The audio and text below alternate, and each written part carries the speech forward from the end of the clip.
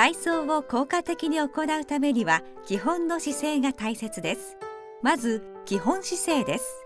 天井から頭を糸で引っ張られている感じで胸を張って座ります。足の裏は床につけましょう。体操をしている間はなるべくこの姿勢を意識しましょう。では体操を始めます。まず手は腰に添え息を吐きながら背中を丸めて息を吸いながら胸を張って伸びていきます。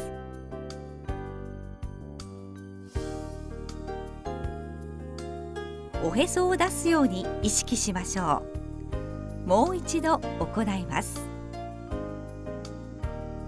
次は両手を上げ左右に揺れます。少しずつ揺れを大きくしていきましょう。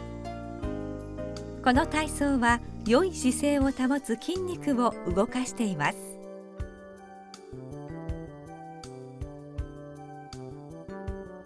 次は体をひねる体操です。両手を前に出し体をできるだけひねります。左右交互に大きくひねりましょう。次は両手を床から天井に向かって大きく動かす体操です。1,2,3,4,5,6,7,8お腹や背中を意識して大きく動かしましょう。123456788姿勢は崩れていませんか？天井から頭を糸で引っ張られている感じで胸を張って座ります。では肩を大きく回します。後ろ回しからです。次は逆回しです。なるべく大きく回しましょう。次は肩が耳につくように上げてみます。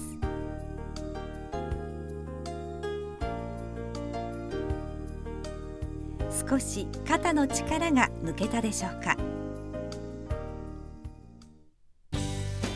ここからはテンポを上げていきましょう。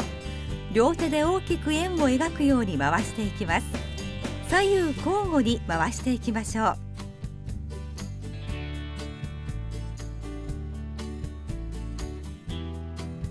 では体を起こしてリズムに合わせて手拍子をしましょう。それに合わせてつま先で床を叩きます。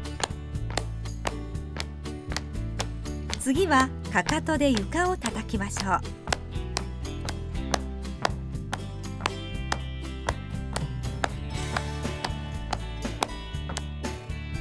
ここで少し休憩です。姿勢は崩れていませんか？天井から頭を糸で引っ張られている感じで胸を張って座ります。次は足踏みの体操です。リズムに合わせて足踏みをしましょう。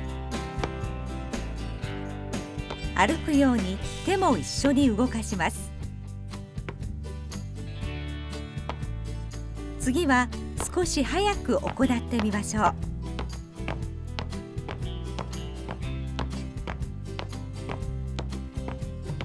1234止める。1234止める。しっかり止めることができましたか？そのまま足踏みを続けます。次は左右交互に膝を伸ばします。つま先はしっかり起こしましょう。膝はしっかり伸びていますか？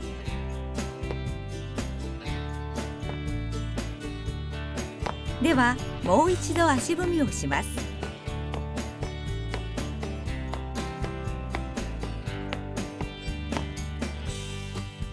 基本姿勢は取れていますか？天井から頭を糸で引っ張られている感じで胸を張って座ります。では深呼吸をします。